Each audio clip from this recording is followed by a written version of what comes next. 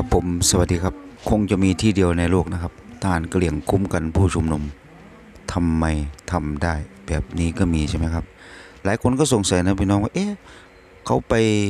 ขับไล่ประเด็จการให้ปล่อยตัวองซานซูจี แต่ก็มีทหารกะเหลี่ยงออกมาคุ้มกัน เอ้ยมันจะงงกันไหมพี่น้อง ดูไปดูมามันจะงงนะเขาทำได้ยังไงอะไรแบบนี้ใช่ไหมเอาถ้าทหารกะเหรี่ยงออกมา คุมกันผู้ชุมนุมอย่างนี้ใช่ไหมแล้วทหารพม่าอยู่ไหนทหารทหารพม่าก็อยู่แถวๆนั้นแหละ แต่ว่าก็จะถามว่าเอ้าแล้วมันเกิดอะไรขึ้นเหรอเกิดแน่นอนถ้าทหารพม่ากระดุกกระดิกทหารกระเหรี่ยงก็สวนกลับทันทีเลย อันนี้พูดเรื่องจริงนะครับ ถ้า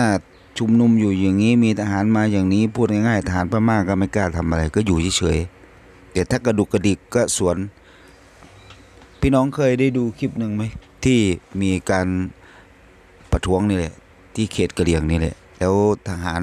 ตักมาดอก็มาบอกให้หยุดอะไรแบบเนี้ยทหารกระเหรี่ยงก็เฟี้ยงลูกระเบิดไปนะตายสองนะนั่นแหละ แล้วก็ระเบิดรถตักมาดออีกสองคันนะนะนี่แหละถ้าถ้าทหารกระเหรี่ยงมาคุ้มกันผู้ชุมนุม ถ้าถ้าทหารกระเหรี่ยงมาคุ้มกันผู้ชุมนุมเนี่ยทหารพม่ามันจะไม่ทำอะไรนะ คือทำอะไรไม่ได้ แต่ถ้าไม่มามันจะเกิดอะไรขึ้นพี่น้องรู้ไหม เดี๋ยวจะให้ดูภาพนี้ นี่ครับ อันนี้เกิดที่กรุงในเมืองในเมืองหลวง ไม่กรุงยังกรุงกับกรุงเนปิโดเนี่ยถ้าไม่มี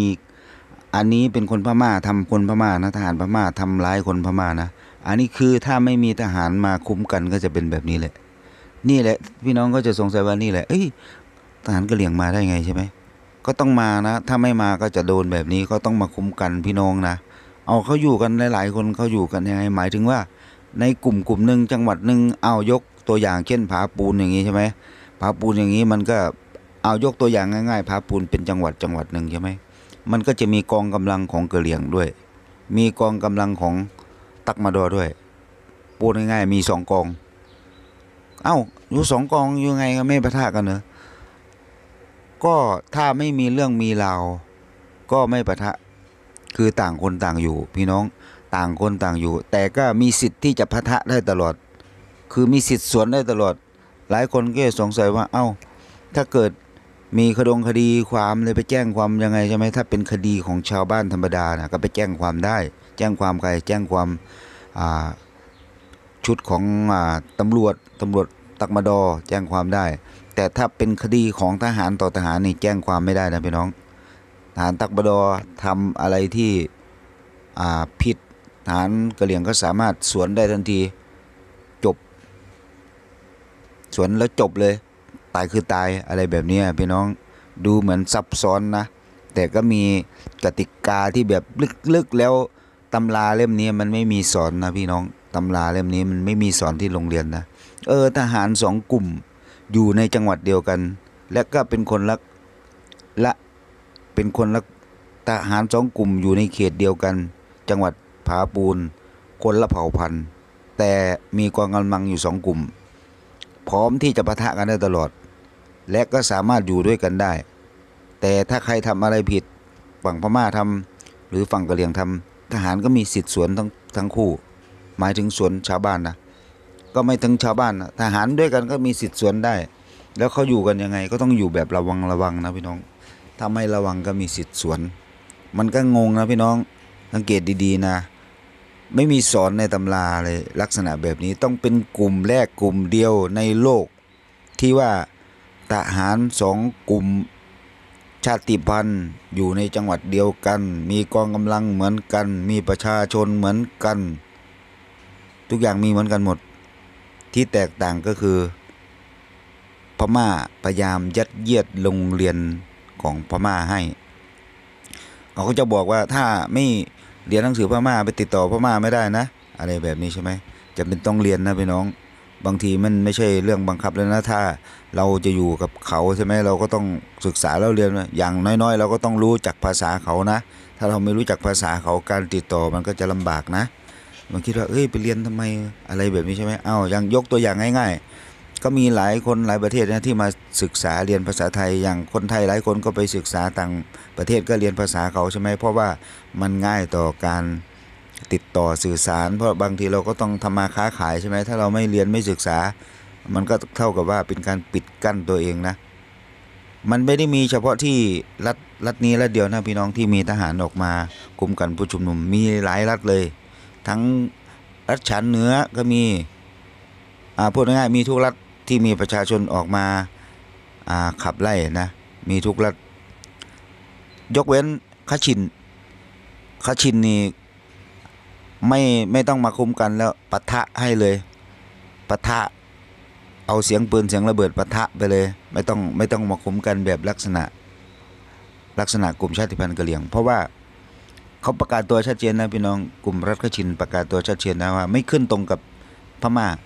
ไม่ขึ้นตรงต่อพม่า มีรัฐขชินรัฐเดียวนะพี่น้องไม่เคยทำเซ็นสัญญาอะไรทั้งสิ้น ไม่เคยเจรจาหยุดยิงไม่เหมือนว่ามันมีงอนไลน์จะเอาสัญญาใส่พานทองคำมาให้เซ็นเขาก็ไม่เซ็นนะพี่น้องเขาไม่เซ็นมีรัฐขชินรัฐเดียว แต่กลุ่มที่เคยเซ็นสัญญาสงบศึกนะก็มีกลุ่มของเอาที่จำได้นะ ของกลุ่มรัฐฉันใต้ของเจ้าเจ้าศึกก็คือเซ็นก็เข้าใจอยู่ บางทีก็อยากจะอาศัยวิธีเจรจาเพื่อให้ทุกอย่างสงบลงได้ใช่ไหมไม่จำเป็นต้องใช้กำลังอะไรแบบนี้ใช่ไหมแต่สุดท้ายก็ต้องปะทะนั่นแหละพี่น้องเจรจาใส่พันทองคำมา สัญญาดีขนาดไหนสุดท้ายก็ต้องปะทะก็อย่างที่เราเห็นนี่แหละปะทะกันจนจำไม่ได้แล้วพี่น้องไม่รู้กลุ่มไหนเป็นกลุ่มไหน เยอะจริง ๆ เลยนะพี่น้องพี่น้องก็จะถามว่าเอ้าแล้วเมียวเมียวดีคอมแพกเขาอยู่ยังไง มันเป็นเขตพิเศษนะพี่น้องเป็นเขตพิเศษ ในเขตนี้มันจะไม่มีกลุ่มอื่นนะ มันจะเป็นกลุ่มของอ่าบีบีจีเอฟนั่นแหละกองกำลังอะไรของเขานั่นแหละกองกำลังคุมบอลนั่นแหละ อ่า มันก็จะอยู่ของเขาถ้าไปเทียบกับผาผาปูนใช่ไหมแต่ไปเทียบกับผาปูนมันก็จะมีกองกำลังของกะเหรียง มีกองกำลังของทหารพม่า แล้วประชาชนอยู่ยังไง ก็อยู่รวมกันนั่นแหละ อยู่รวมกัน พี่น้องก็จะถามว่าเอ้าอยู่รวมกันไม่มีเรื่องเหรอมีแน่นอนพี่น้องก็อย่างที่บอกแหละ ถ้าใครทำผิดนะ มีสิทธิ์สวนทั้งคู่ พม่าทำผิดก็มีสิทธิ์ถูกกระเลียงสวนกระเลียงทำผิดก็มีสิทธิ์อ่าพม่าสวนมันเป็นลักษณะแบบนี้มันก็จะดูเหมือนว่าเอ้ยอยู่ได้ยังไง ก็นี่แหละ ผมถึงบอกว่ามันไม่มีสอนในตำราเรียน ลักษณะหนึ่งหนึ่งจังหวัดเนี่ยมันทำไมมีกองกำลังสองกองและสองกองนี้ก็เป็นต่างคนต่างกลุ่ม ต่างเชื้อสาย พม่าก็มีกองกำลังหนึ่งอันนี้ผมยกเปรียบเทียบเฉพาะจังหวัดผาปูนนะที่ดังๆอะกองกองพลห้าของอ่ากะเหรียงอะอ่ามีกองกำลังพม่าด้วย มีกองกำลังกะเหรียงด้วยอ่ามีสองกองคือต่างคนต่างอยู่ แต่ว่าก็มีสิทธิ์สวนได้ตลอดเวลาเอ้าทีนี้ทีนี้พี่น้องก็จะถามว่าเอ้าทำไมไม่ยกไปถล่มเลยอะไรแบบนี้ใช่ไหมครับ ยกไปถล่มไม่ได้นะพี่น้องเพราะต่างคนก็ต่างมีกองกำลัง กะเหรี่ยงก็มีกองกำลังฐานพม่าก็มีกองกำลัง เอ้ยทำไมพม่าไม่ไปถล่มเลย หรือไม่ก็ทำไมกะเหรี่ยงไม่ไปถล่มเลย มันไม่ใช่นะพี่น้องไปถล่มไม่ได้นะ ไม่มีใครห้ามหรอกแต่ว่ากองกำลังนะมันมีคลังแสงมันมีอาวุธ มันมีอาวุธทั้งสองฝ่าย มันไม่ได้ไปจับวงไฮโลนะพี่น้อง วงไฮโลนะมันไม่มีอาวุธใช่ไหมแต่นี่มันคือกองกำลังแล้วทำยังไงแล้วอยู่ยังไง ก็ต่างคนต่างอยู่นั่นแหละครับ ถ้าทำผิดอะไรก็ มีสิทธิ์สวนได้ พี่น้องก็ลองคิดดูว่ามันจะอยู่ยังไง คือต่างคนก็ต่างสวนได้ อยู่ร่วมร่วมกันได้นะ แต่สามารถทุกคนมีสิทธิ์สามารถที่จะสวนได้นะกะเหรี่ยงก็มีสิทธิ์สวนได้กะพม่าก็มีสิทธิ์สวนได้ ถ้าเป็นเรื่องของทหารก็คือสวนแล้วถ้ามีการตายเกิดขึ้นก็จบตรงนั้น แต่ถ้าเป็นคดีเล็กๆน้อยๆอย่างชาวบ้านทะเลาะกันหรืออะไรแบบนี้ก็ต้องไปบอกตำรวจทหาร แจ้งตำรวจเหมือนกับบ้านเรานี่แหละ แต่มันเป็นตำรวจของตักมาดอ มันก็จะเป็นลักษณะนี้ใช่ไหมพี่น้อง พี่น้องก็จะงง